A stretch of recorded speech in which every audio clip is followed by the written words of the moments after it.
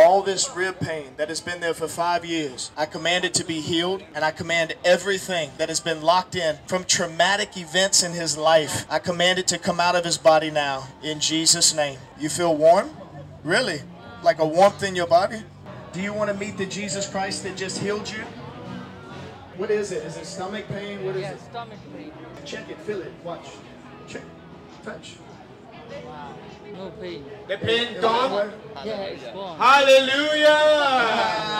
Jesus healed two people right now. If you're scared that you don't know where you're going to go when you die, you can come here and we'll pray for you. We will give you the good news and it'll change your life forever.